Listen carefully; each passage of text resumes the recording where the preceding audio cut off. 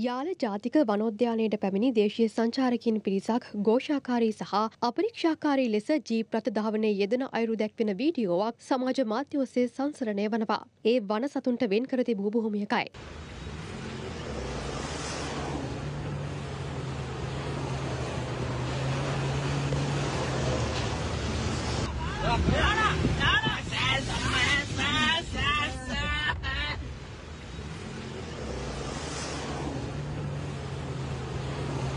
Sapper, sapper, look, here, sapper, look.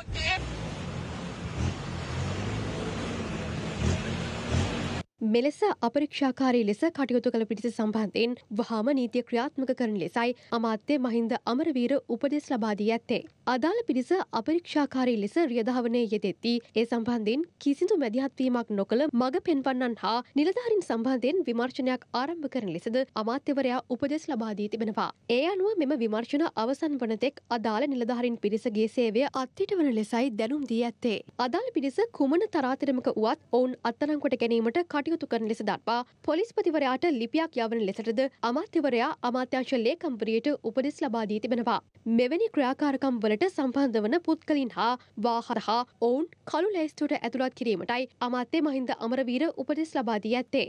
මෙම පිරිස දක්ෂිණ අධිවේගී මාර්ගයේ ඉතා වේගෙන් ගමන් කරන්නා ආකාරය දැක්වෙන වීඩියෝවක්ද සමාජ මාධ්‍ය තුළ සංසරණය වනවා.